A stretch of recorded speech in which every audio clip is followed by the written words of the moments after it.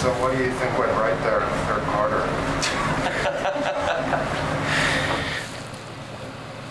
Well, we got to playing a little bit. Um, obviously, Freddie had a pretty good quarter. He had seven deflections in the quarter. So jump started. I think we just came out. I thought the biggest thing was he did is he came out and started picking those guys up full court. Made a couple adjustments defensively too. Helped us. You've seen some pretty special firsts like that from a bunch of players. I mean, how high? I mean, don't expect you to rank them all right Yeah. now, but that's. No, that was a, that was an incredible one, all, all the way through the quarter, all the way leading up to that race up three at the end. You know, it was almost like it was not, you know, almost you couldn't believe that went in as well. But uh, yeah, it was a spirited effort by him to lead us, you know, with the ball in his hands and, and defensively at the same time. You mentioned what he did defensively. Um, which is more impressive to you? You know he can score. You know he's great defensively.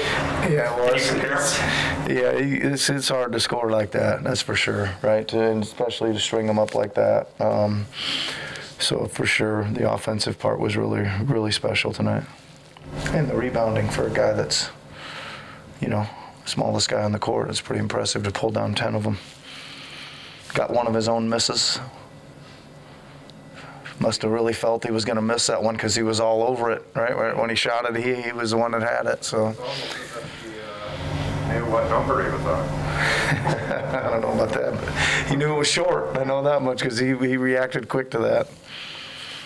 Uh, what do you say to your group at halftime, given the way they defended the? Yeah, you know, it's um, it's um, I mean, it, not much, Michael. To be honest with you, I mean, I, I didn't didn't um, you know, we just looked at some clips and talked about you know a bunch of things. I mean, we weren't keeping the ball in front very well. That was and it was causing a causing a layup problem, a, a, a back to the big problem, a corner three problem, and we had to adjust you know our mindset there of squaring up and keeping the ball in front better.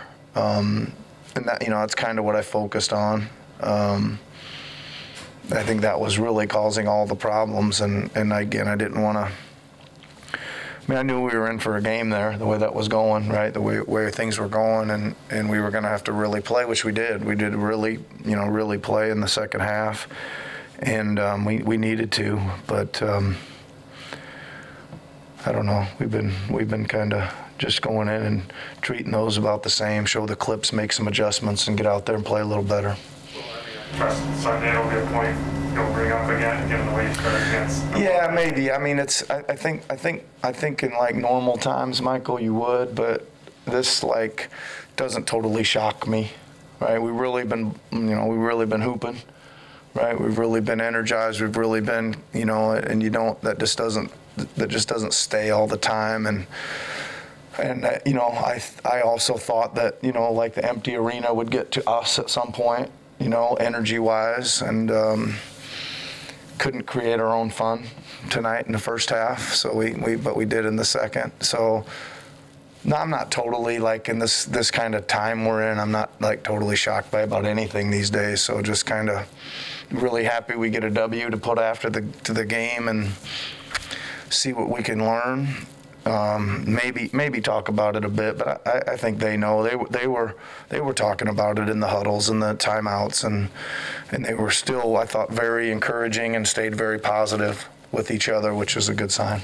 As great as Fred was, could you see the impact that he was having on everybody else? It seemed like once he took it to another level, a bunch of other guys did. Yeah, I mean he was he was trying really early, right? I think I think that um, he he, kind of saw what was happening early. Um, and uh, he was trying kind of vocally and things like that. And I just think that, um, I don't know, he, he was missing a good share of shots himself in the first half, right? And he was trying to kind of get us going and get us going with the scoring, and that wasn't quite working either. But then I think once he, once he was um, kind of vocally um, stating his case and then doing it in the in the scoring column at the same time. And I thought again, I always think that when the point guard's up there working really hard, the rest of the guys see that that are back there, and they kind of start getting ready to to move a little more too. So I think he, he kind of did all parts of it tonight.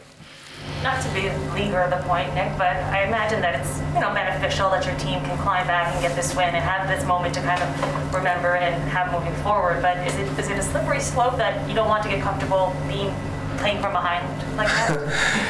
Um, I, I mean, I don't think so. I think that, um, you know, you certainly don't ever want to get comfortable in that position, I think. Um, but I do, I do say that, um, you know, we, we have, that's, that's a few half times and, uh, not, maybe not in a row, but I, again, I thought we were, we were super positive at the half in Milwaukee, even though we just gave up 77 points and we were down nine. But I was I was kind of like, geez, we are lucky we're here and let's let's let's go play now. And and we did. You know, we really played again in the second half there.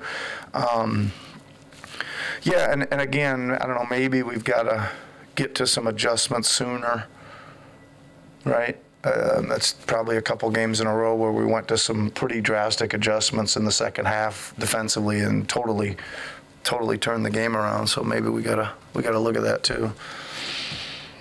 Offensively early on, were guys turning down shots? Like it looked like they were getting to the middle. It was just- weird, right? Yeah. It was it was uh, one of those things where, again, they were kind of taking their chances with playing playing you know kind of off us and and uh, guys weren't so you know that.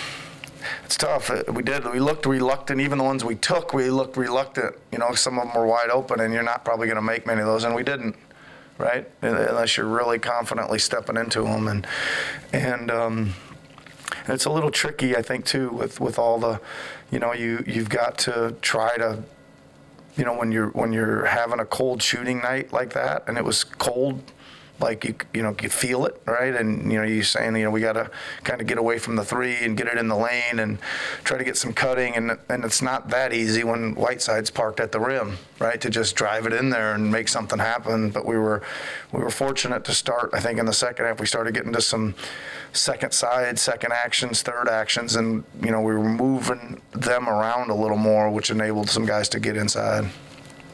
One question for you online, Nick. Uh, Go ahead, Doug.